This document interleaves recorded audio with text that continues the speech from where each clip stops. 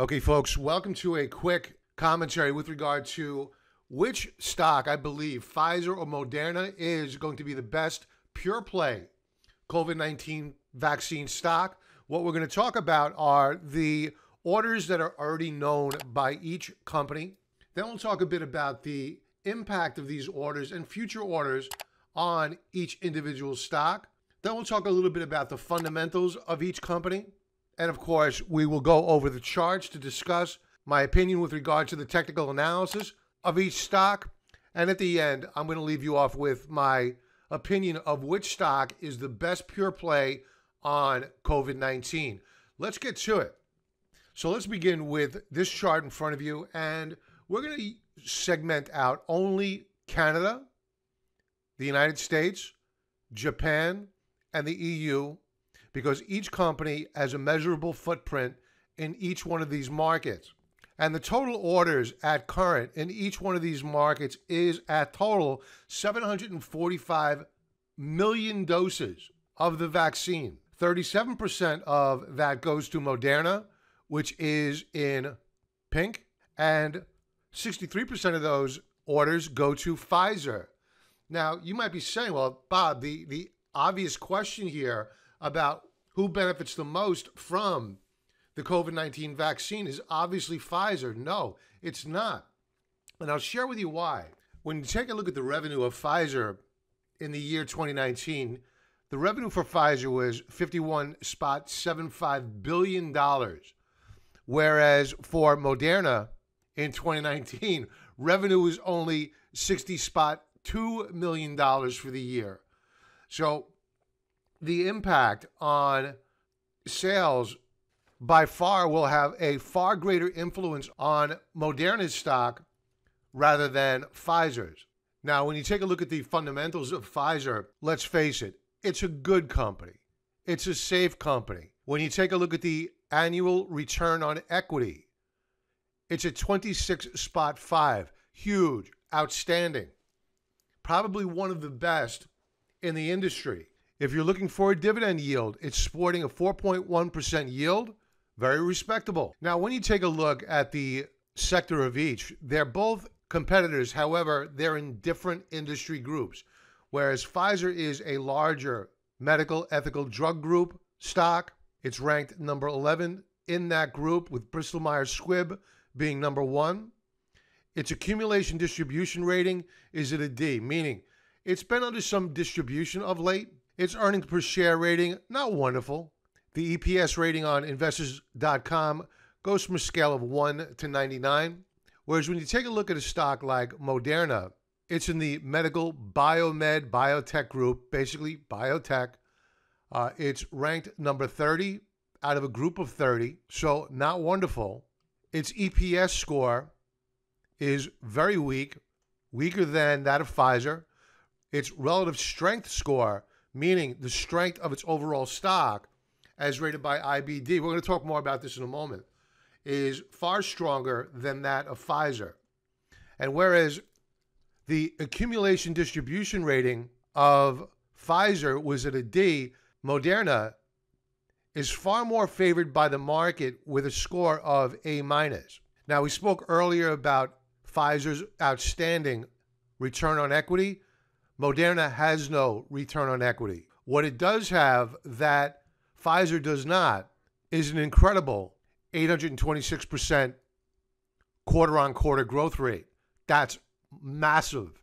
Whereas with Pfizer, sales last quarter were actually down. So you can see that while you have two stocks that are leaders in the COVID vaccine race, they are two completely different companies with Pfizer being a far more diversified company and Moderna being a far more pure play on the COVID 19 vaccine.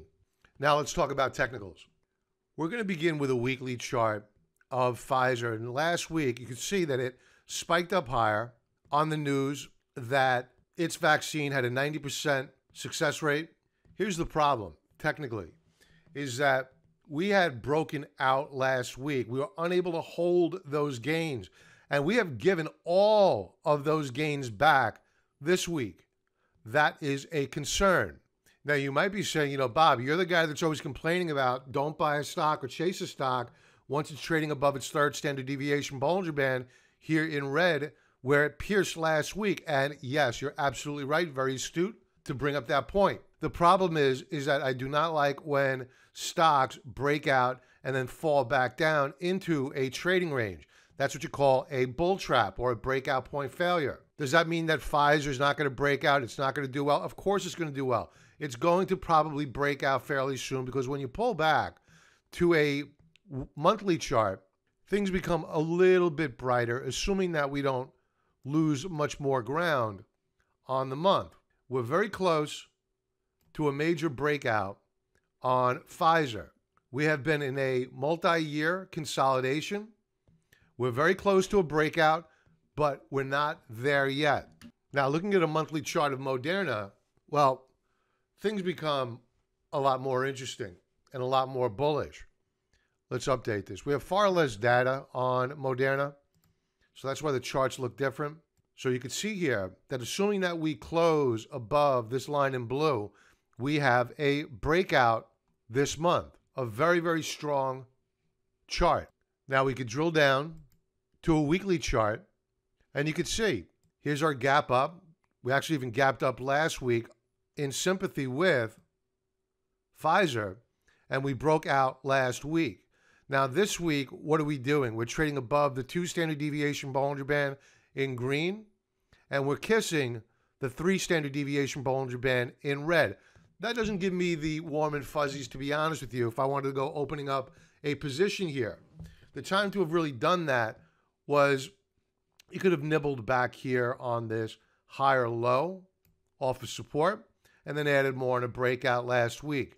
Right now, to me, the horse has left the barn, short term anyway.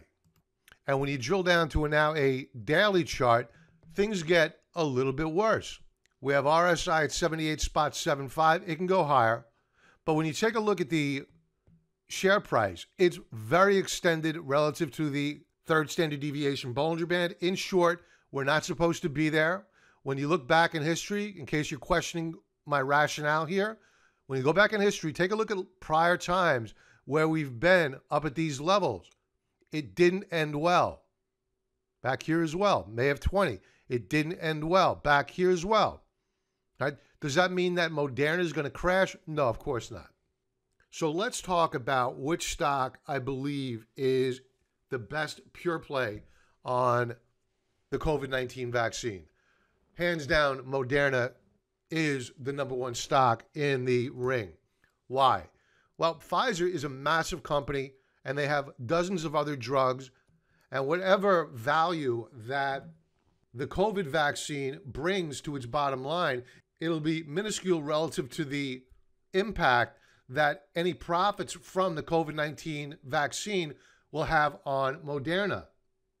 And keep in mind, of those sales of 745 million units that we know of already and only growing, Moderna, which is a significantly smaller company than Pfizer, already has 37% of those sales. That's in the books.